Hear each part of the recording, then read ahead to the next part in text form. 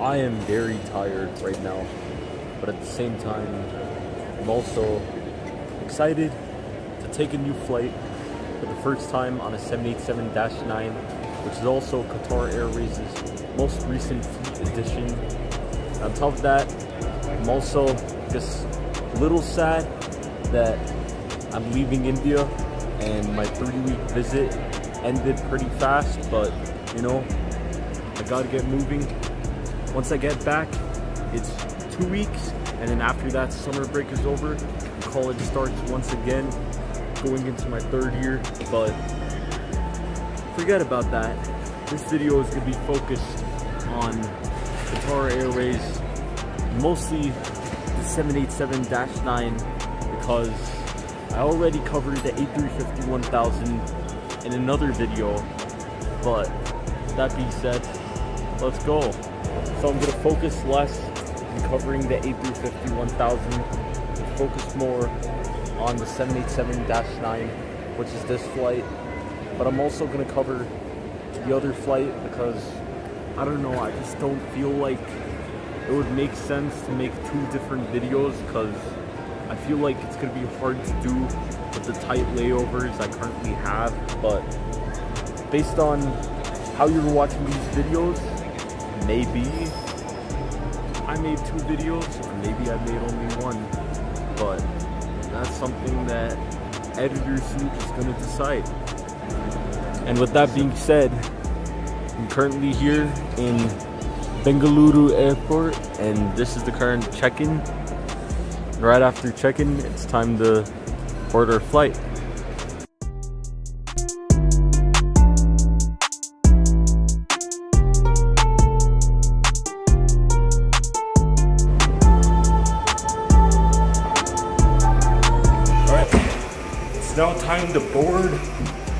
The reason I haven't spoken much is, let's just say I had an interesting story with security, but here we go on 787-9. We're here on uh, Qatar Airways' newest aircraft. That's the business class. And this is the economy. Alright, so now here in my seat the back of the 787-9. This very much looks like a 787 inside, obviously, and sort of looks like a revamped version the A350-1000, except I feel like rather than just changing the business class, they've generally modified the product when it comes to economy also. You can see uh, the entertainment system is little different right over here. They have one of these for storing your mobile devices. And you can see, we have the infamous Dreamliner windows with the dimming features. Tray table, very similar to the 350. The 787 has uh, that we just had an announcement, but either ways we have right over here a tray table that's very similar to the A350 1000 and 787 also has pretty high ceilings but you obviously could tell it's a narrower plane and you could see the curve right over here. And the legroom here once again very good. And we have slightly revamped slightly larger entertainment screen it's but actually time for takeoff so we're about to uh, push back Land. Insert the metal end into the buckle until it... Charging ports for takeoff and landing. If you drop your electron... Alright, so it's still dark and it's 4 a.m. right now. It's a 4 a.m. departure time and it's sort of rainy. I was honestly hoping we could get sunrise on this takeoff, but I'm not too sure if we'll be able to get that.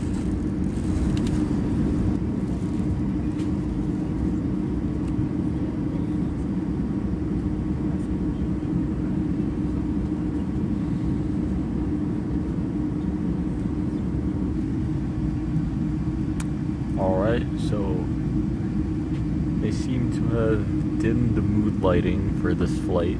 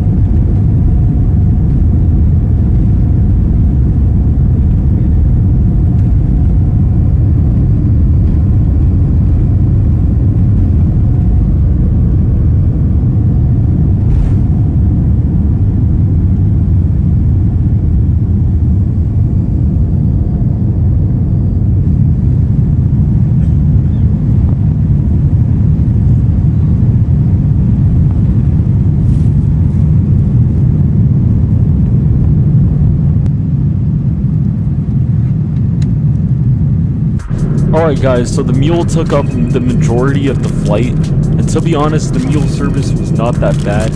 As you can see, this is the bun, which unfortunately has sesame in it, which I'm allergic to.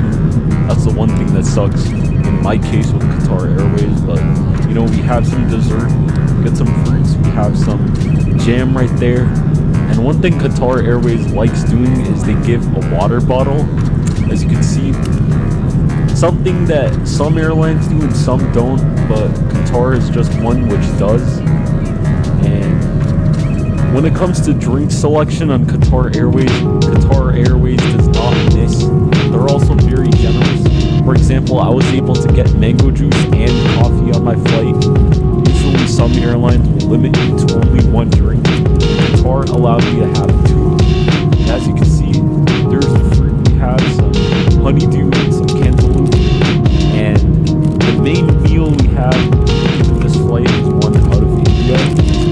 have something traditional of meal selection. Wait, wait a minute for me to just, just show it. Come on, come on, just open. There, so that's what we have. Something pretty traditional. Traditional Indian breakfast. We have some sambar, we have some rice,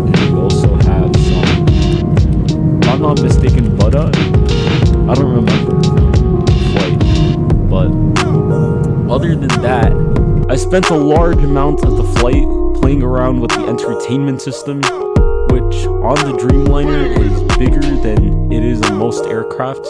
So as you can see, I'm navigating through the capacitive touch they offer, which is actually really responsive, way better than most airlines, and in terms of entertainment offerings, as I said in my previous video, Qatar Airways just doesn't miss.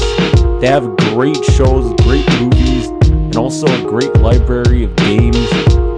And with the big display on the 787-9, I could surely enjoy a way longer flight on this aircraft because obviously the 787-9 is a long-haul aircraft which does way longer flights than the one I was on. And for sure Qatar Airways is equipped for it. But anyways, it's now time for landing in Doha.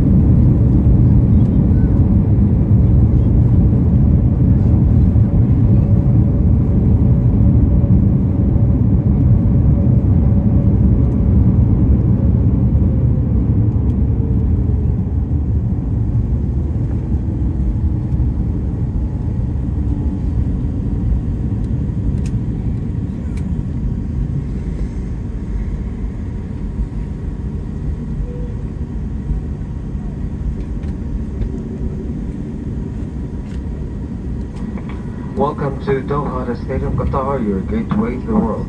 Local time here is 5.13 a.m. For your safety, please remain seated with your seatbelt fastened until the aircraft has completely stopped and the seatbelt sign is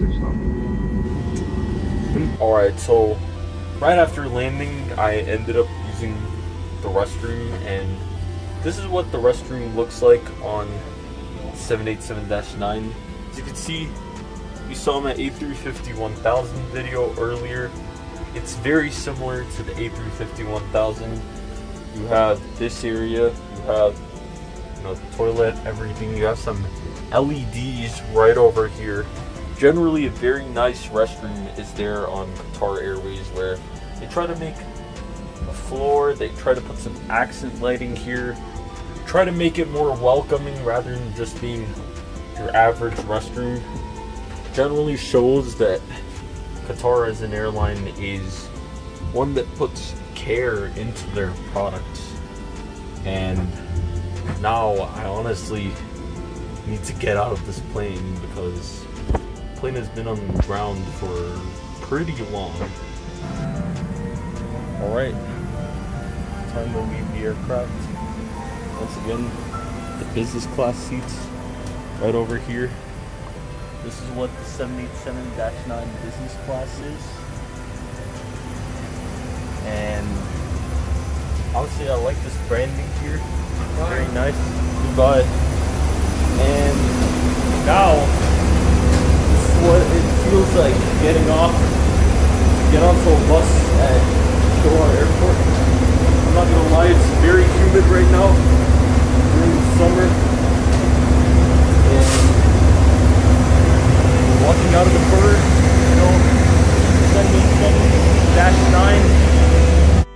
787-9. Alright guys, so upon arriving in the Doha airport, we got bussed, and to be honest, when transiting in Doha, there's a good chance you're gonna end up in a bus gate, cause a lot of flights in Doha use the bus gate, and to be honest, it may not be the most pleasant thing, but with an airport that has the kind of traffic Doha has, you obviously will expect the airport to always be operating at max capacity. And generally, Doha Airport is probably one of the best airports, if not the best airport I've been to. As you can see, there's the Louis Vuitton store, as all airports generally tend to have some store that sells designer clothing and other items like that. And we have the famous teddy bear at the Doha airport, which was bought at an auction, I think in Scotland, if I'm not mistaken. And to be honest, it's not as impressive as I thought it was because people on YouTube talk a lot about this teddy bear, and in all honesty, it's cool, but it's not the greatest thing in existence. But other than that, the Doha airport is generally full of a lot of restaurants with good food options that accommodate to literally anyone. And you also have some pretty nice cars up on display the Doha airport, like this McLaren, which you could actually win if you entered a raffle. And on top of that, you have an Apple store as well as a store for Samsung items. And with that being said, this is the end of my pretty quick layover. so it was a quick layover, and now I'm actually boarding the next flight to Los Angeles on the A350 1000. This is gonna be a long flight, 16 hours. Let's see how it goes. By the way, very nice boarding gates here in the airport. And as you can see, this is the aircraft. Good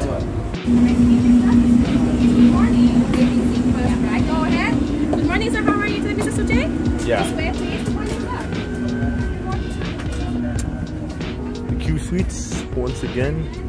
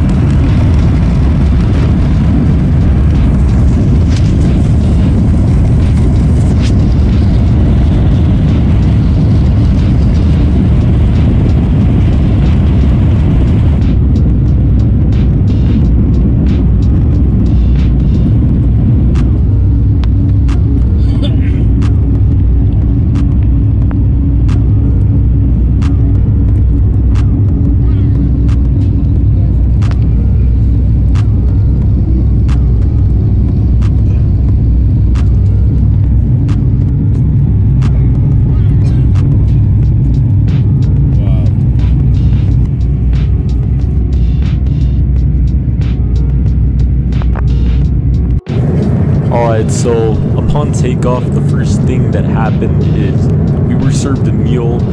Honestly, Qatar Airways has pretty good food for most airlines because obviously in the economy food isn't that great. I had an omelet on this flight and as you can see there's some mango juice I finished up. I had some fruits and other than that they also do provide a water bottle. Alright guys, so right now I'm here in the restroom of the A350 1000. It's been about three hours into the flight and in all honesty I feel like the 787-9 has a better restroom they still have some decent accent lighting, decent floors. It's not a bad restroom for economy, especially. They have the spray, they have the toilet covers, you know.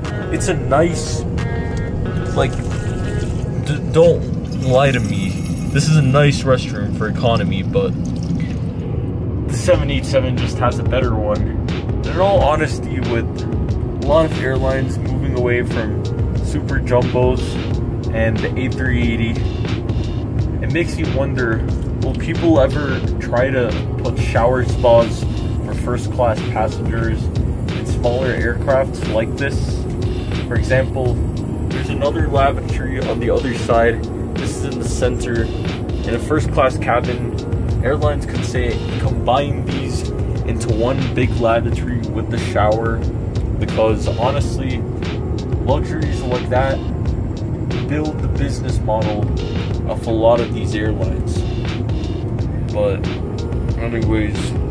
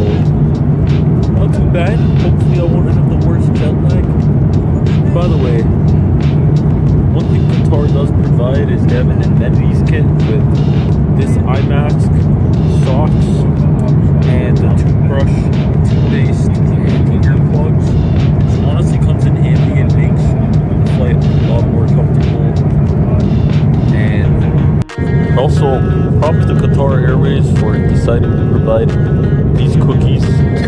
These are some of the best cookies, and I love every airline which provides these cookies.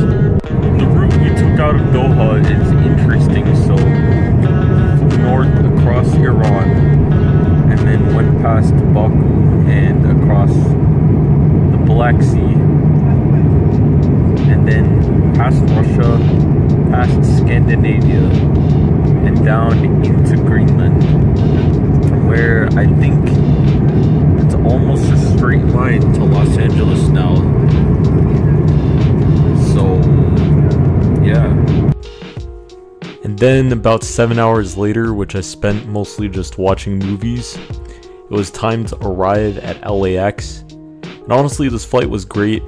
Great entertainment on both flights. Qatar Airways overall is a great airline. And if you honestly want me to make a video comparing Emirates and Qatar, I would be delighted to do it. As you can see, I'm landing out in LA and for those of you who play Grand Theft Auto, you do know this view. This view is very familiar.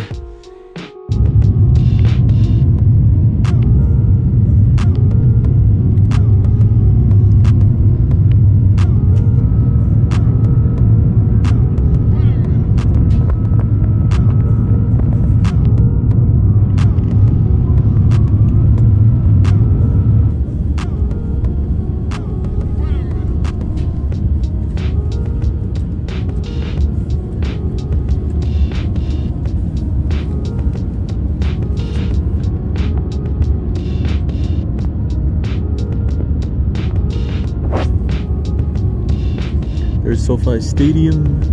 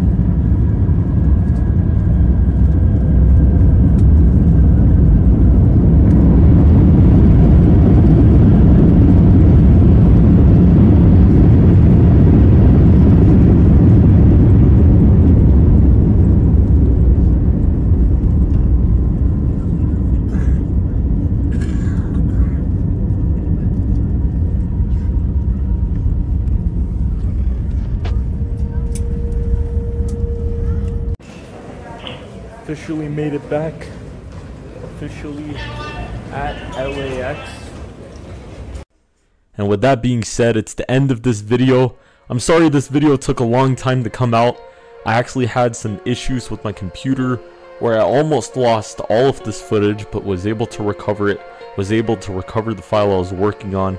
And anyways, if you enjoyed it, please do comment, subscribe, and go check me out on Instagram. I do have another video coming out pretty soon. Won't tell you exactly when, but I have one on the way. With that being said, it's the end of the video, guys. Goodbye.